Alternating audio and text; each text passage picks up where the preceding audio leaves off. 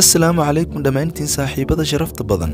Muuqaalkan waxaan doonayaa inaan ku soo koobo filim dembi baaris ah oo lagu magacaabo the equalizer.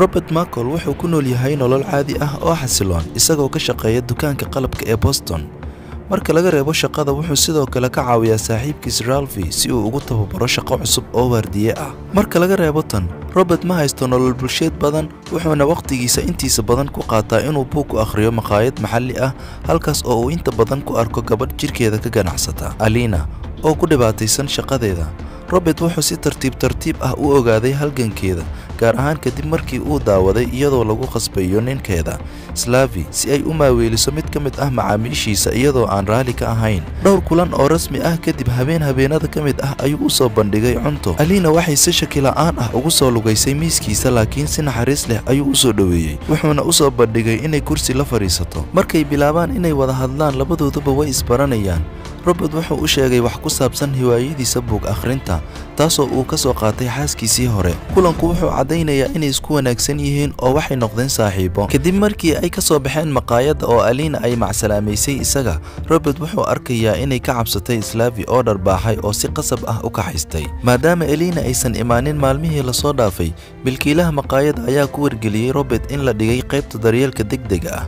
Kadib markii uu si naxariis daro ah u garaacay slavi wuxuu ku booqday elina isbitaalka halkaas oo uu ku arkay gabar kale mendi oo dhinaceeda taagan. Markuu arkay iyadoo si dhab ah uga welwelsan elina wuxuu su'aal ka keenay xaaladeeda taas oo mendi ay si aan raalli ka ahayn ugu sheegtay ficilada slavi maadaama uu si joogto ah u ciqaabo gabdhaha si ay u shaqeeyaan. Ogaanshaha in slavi uu sidoo kale ku hanjabay inuu dili doono elina robert wuxuu booqday naadiga slavi habeenkii wuxuuna ka siistay lacag xorriyadeeda laakiin slavi ayaa diiday inuu qaato. Xitaa wuxuu diiday inuu yaqaano elina. Isagoo aad u xanaaqsan robert ayaa dagaal qaaday wuxuuna ku dilay dhammaan raggiisa wakhti yar wuxuuna si aamusnaan ah ugu soo laabtay gurigiisa isagoo aan ka tegin wax caddaynaya kulugla'aanshihiisa subaxii xigay ayuu shaqadiisa ka bilaabay goobta halkaasoo uu reelfi uu ku wargeliyey inuu ugu dambayntii horumar ka samaynayo tababarkiisa. Kadib robert wuxuu maqlay warka ku saabsan dilka laakiin wuxuu ogaaday in booliisku ay ku eedeeyeen dagaalka adag ee u dhexeeya kooxaha iska soo horjeeda. Qofna wax fikrad ah kama haysto dilaaga dhabta ah. Ogaanshaha dhacdada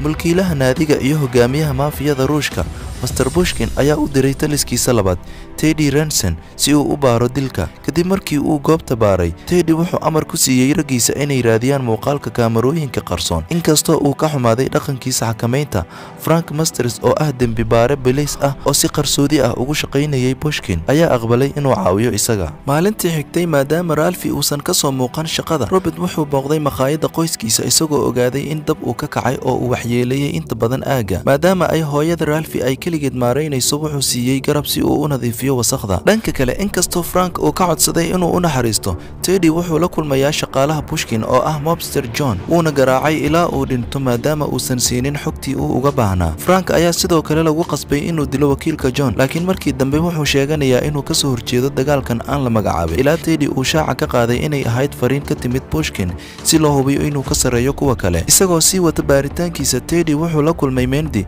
isagoo weydiinaya inay aragtay wax aan caadi ahayn oo ku saabsan dhaqanka slavi ka hor dilkiisa. Ama haddii uu leeyahay wax cadow ah laakiin waxay diiday inay wax ka og tahay macaamilkiisa guud. Markii uu u sheegay bushkin inaysan weli helin wax raad ah teddy wuxuu u sheegay in qof kasta oo dilay slavi iyo raggiisa uu ku fiicnaa shaqadiisa maadaama uusan ka tegin wax raad ah taasoo ka dhigaysa mid xiiso leh maadaama uu u malaynayo in gacankudhigluhu uu yahay xirfad leh. Ogaanshaha arrintan bushkin wuxuu amar ku bixiyey in la raadiyo gacankudhiglaha qiimo kasta. Wuxuu ka dhigayaa tusaale sidaas darteed qofna mar kale ma xujayn doono. Dhanka kale laba booliis oo caadaqaatayaal ah ayaa booqday maqaayadda hooyada dhashay ralfi waxayna dalbadeen inay bixiso lacag iyagoo u sheegay inay ahaayeen kuwii ka dambeeyey inay dab qabadsiiyaan maqaayadda kadib markii ay diiday inay u hoggaansanto marka ay ka soo baxaan maqaayadda kadib markay heleen lacagta ay u baahnaayeen robert ayaa joojiyey isagoo ka hortegaya ficiladooda ayuu soo bandhigay muuqaal uu duubay oo caddayn ah. Markii ay bilaabeen inay ku jeesjeesaan iyagoo aan ka warqabin cawaaqibka ka dhalan kara faragelinta robert waa uu garaacay oo uu ku qasbay inay soo celiyaan lacagihii ay ka qaateen dadka kala duwan. Haddii kale wuxuu muuqaalada ku baahin doonaa baraha bulshada. Labada nin ayaa ugu dambayntii soo celiyey lacagtii taasoo u sahlaysa ralfi inuu ku soo laabto shaqadiisa maalinta xigta. Teddy wuxuu mar kale la kulmay mendi wuxuuna ku qasbay inay shaaca ka qaado tafaasiisha robert wuuna ceejiyey. Dhanka kale ralfi wuxuu ugu dambayntii noqonayaa waardiyaha isagoo tixgelinaya taageerada robert intii lagu jiray habka wuxuu siinayaa mahadcelin teddy wuxuu sawirada robert ka ogaaday muuqaalada kaamarooyinka naadiga isagoo ogaaday kulug lahaanshaha dilka slaavi iyo raggiisa. Goobta shaqada ee robert waxaa ka jirta dhacdo tuuganimo ah. Tuug ayaa xaday lacagta iyo sidoo kale faraantii uu ka qaatay saaxiibtiis jenny laakiin robert wuxuu gartay faahfaahinta ku saabsan muuqaalkiisa iyo baabuurkiisa. Isla habeenkaas mar kale ayuu sharciga gacmihiisa ku marsiiyey oo uu u soo celiyey faraantiga isaga oo si qarsoodi ah ugu soo celiyey iyada. Teddy wuxuu booqday guriga robert isagoo iska dhigaya inuu yahay sarkaal booliis ah oo baaraya dilka slaavi waxa kale oo uu su'aalo ka weydiiyey mendi sidoo kale wuxuu weydiiyey sababta ka dambaysay inuu booqdo naadigaas habeenkii dilka. Laakiin robert wuxuu ku qanciyey inuu halkaas u aaday inuu la kulmo saaxiibkiis laakiin uu soo waayey. Robert wuxuu daawanayaa isagoo la baxay frank masters iyadoo teddy uu muujiyey shakiga uu isaga ka qabo. Teddy waxa uu bilaabay inuu baaro taariikh nololeedkiisa halka robert uu sugay ammaanka gurigiisa isaga oo ka tegay raadbeen ah sidoo kalena ku dhejiyey kaamaradaha ammaanka. Teddy wuxuu u soo diray kaaliyihiisa inuu robert kaga hor yimaado maqaayadda balse mar kale robert waxa uu si deg deg ah ugu dilayaa elbriqsyo gudahooda iyagoo ka daawanaya waddada. Kadib wuxuu demiyey korontada si aan qofna u arkin. Robertna wuxuu ka tegey maqaayadda laakiin wuxuu sawiranayaa teddy iyo raggiisa iyagoo hor jooga. Intii ay eryanayeen robert wuxuu weeraray frank masters balse naftiisa ayuu u turay kadib markii uu arkay calaamadda booliiska isagoo isku dayaya inuu helo teddy oo ay weheliyaan raggiisa waxay weerareen guriga robert waxayna bilaabeen inay baaraan goobta isagoo ka daawanaya kaamaradaha amniga ee lagu dhejiyey meel kasta oo guriga ah. Intay halkaa taagan yihiin iyaga oo ka fekeraya caddaymaha ay heleen teddy ayaa wax ka ogaanaya qorshaha wuxuuna amar ku bixinayaa kooxdiisa inay dabagalaan. Robert wuxuu la kulmayaa saaxiibtiis hore ee hay'adda sirdoonka susan si uu u weydiiyo wax ku saabsan teddy. Isagoo la hadlaya qadada kadib susan ninkeeda ayaa u sheegay sida ay uga xanaaqday kadib markii uu ka been abuurtay geeridiisa qarax loogu xidhay gaarigiisa. Laakiin waxay ku faraxsan yihiin inay mar kale la kulmaan isagoo nool. Susan waxay soo ururisay macluumaadka waxayna u sheegtay robert in slaav iyo raggiisu ay ahaayeen xarunta xeebta bari ee howlgallada dembiilayaasha bushkin waxay u sheegtay in bushkin uu ku lug lahaa dhammaan noocyada howlaha sharci darada ah ee daroogada ilaa ka ganacsiga dadka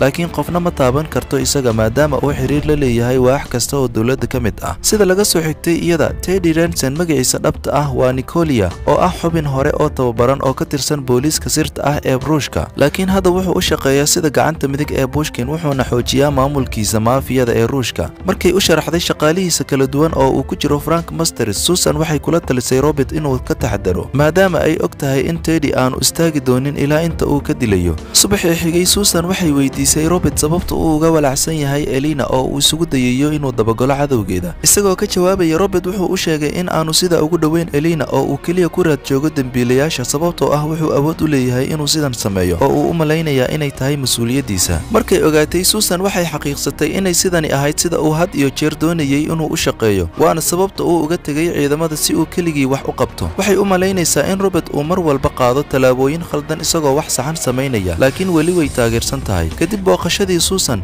robert wuxuu jebiyey guriga frank wuuna jir dilay si uu u helo macluumaadka ku saabsan bushkin iyo howlihiisa sharci darada ah. Inkasta oo uu frank markii hore diiday balse wuu isdhiibay kadib markii robert uu isku dayey inuu ku dhex dilo baabuurkiisa amarkiisa frank wuxuu keenay mid ka mid ah bakhaarada lacagta sirta ah ee bushkin kadib markii uu isugu sheegay inuu yahay askari cusub oo ka socda biliiska oo ku jira liiska askarta ee bushkin robert wuxuu weydiistay kormeeraha andrew inuu u wareejiyo dhammaan lacagta meel kale sababtoo ah meelihii ay ku sugnaayeen dhowaan ayaa la khalkhaliyey laakiin andrew ma rumaysan isaga. Markii uu arkay isagoo wareersan robert wuu khiyaameeyey oo qorigiisa ayuu ka dafay ilbiriqsi gudihiisa isagoo afduubtay kuna qasbay inuu u hoggaansamo amarkiisa. Kadib wuxuu shaqaalaha u diray guryahooda isagoo u qaybinaya xoogaa lacag ah oo ku qasbay frank masters inuu u yeero bilayska. Kadib markii robert uu ku canaantay inuu ixtiraami waayey waaxdiisa frank wuxuu muujiyey inuu ahaa booliis wanaagsan ka hor intuusan ku lug yeelan qaskan. Sidaas darteed robert wuxuu ku booriyey inuu sameeyo waxa saxda ah.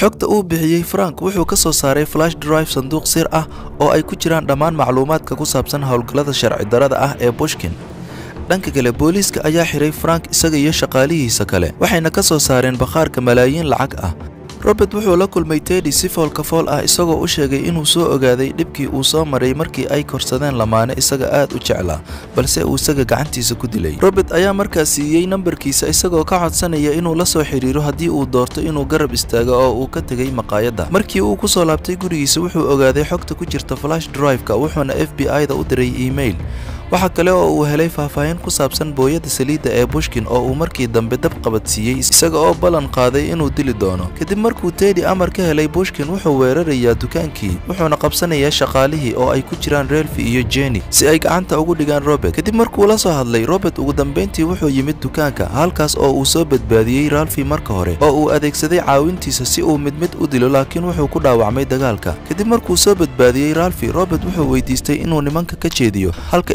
isagana uu ugaarsanayo. Kadib markuu daaro digniinta dabka tedi wuxuu arkayaa ralfi oo uu xabadaynayaa waxyar kadib robert ayaa soo muuqday oo tedi ku dilay qoriga masaamiirta isagoo ka tegay dukaanka saddex maalmood kadib robert wuxuu yimid daarta bushkin ee moscow si uu uga hortago dembigiisa isagoo qarinaya inuu u yimid inuu dilo isaga. Robert wuxuu ku khiyaameeyey bushkin inuu iskiis koronto iskugu qabto markii uu ka soo baxayay guriga. Dhowr maalmood kadib markii uu ku soo laabtay gurigiisii boston robert waxaa la soo xiriiray elina oo hadda ka soo kabsatay dhaawacii waxaanay nolol cusub ku bilowday lacagtii uu sida qarsoodida ah uga tegey iyadoo aan ogeyn xaqiiqda weli way u mahad celinaysaa isagoo ku dhiirigeliyey inay noqoto wax kasta oo ay rabto inay noqoto. Inkasta oo uu ku guulaystay inuu hoos u dhigo burcadda bushkin robert wuxuu go'aansaday inuu sii wato adeegsiga xirfadiisa dagaalka wuxuuna dhegayaa xayiisiiska khadka tooska ah oo ah the equalizer halkaas oo uu kaga jawaabo wicitaanada dadka ee caawinta u baahan. Muuqaalka halkan ayuu ku egyahay fadlan taawo sabscribe iyo like. Haddaad jeceshahay muuqaaladan oo kale kulanti dambe oo aad u xiiso badan mahadsanid